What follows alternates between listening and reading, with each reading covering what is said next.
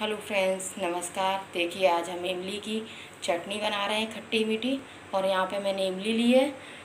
300 ग्राम मैंने इमली ली है और जिस, जो मार्केट से मंगाई है मैंने, इसमें क्या है, गुठलियाँ नहीं हैं। गुठलियाँ निकाल ली है। चलिए इसको बनाना स्टार्ट करते हैं। देखिए, मैंने यहाँ पे एक बर्तन लिया है, उसमें मैं एक गिलास पानी डाल दूँगी।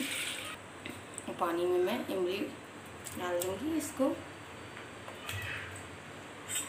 और इसको गैस पर पकने के लिए रख देंगे। देखिए, मैंने गैस पर रख दी है इसको अच्छे से पका लेते हैं।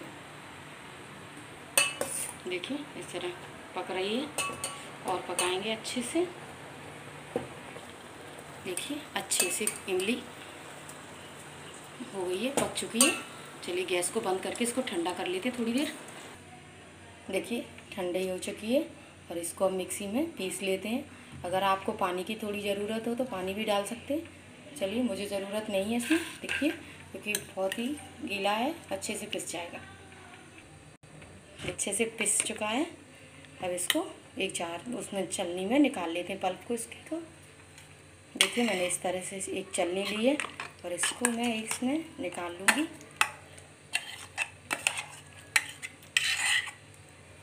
इसको चलने की मदद से ऐसे घुमाते हुए पल्प को निकाल लेना है। थोड़ा बहुत अगर पानी की ज़रूरत पड़े तो थोड़ा बहुत पानी भी ले सकते हैं आप।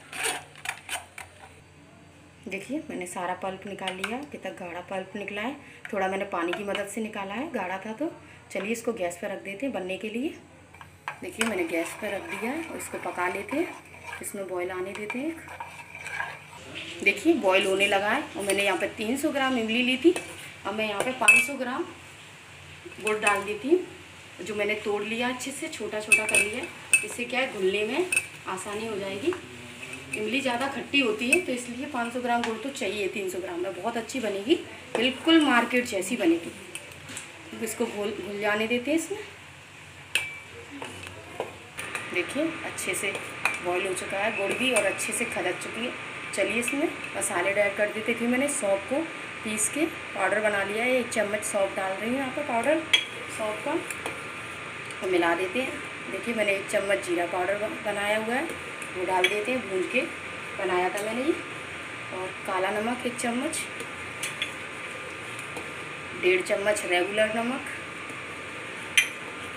और मैंने एक चम्मच सूखी सौंठ का पाउडर बनाया है। वो भी ऐड कर दूँगी। और लाल मिर्ची पाउडर, एक बड़ा चम्मच। इससे बहुत अच्छा कलर भी आता है और चटपटा भी बनता है। चलिए इसको थोड़ा सा बॉईल कर लेते हैं और देखिए, अपनी चटनी बिल्कुल तैयार हो चुकी है, बन चुकी है। गैस को करते हैं बंद। आप इसको पकौड़ी के साथ, कचौड़ी के साथ, भेल पूड़ी में जो चीज़ आपको पसंद है, उसके साथ खा सकते हैं। और अगर आपने मेरा चैनल सब्सक्राइब नहीं किया तो प्लीज़ सब्सक्राइब करें, लाइक करें, कमेंट्स करें, शेयर करें, सब्सक्राइब ज़रूर करें। चलिए इसको करते हैं ठंडा। ठंडा होके और भी गाढ़ी हो जाएगी, फिर सर्व करते हैं। देखिए, चटनी बन के रेडी हो गई, मैंने एक बाउल में निकाली है। देखो कितनी गाढ़ी, अच्छे से बनी है। बिल्कुल मार्केट जैसा है। इसका टेस्ट और आप पकौड़ी, कचौड़ी, समोसे, किसी भी चीज़ के साथ खाएँ, बहुत ही अच्छी है।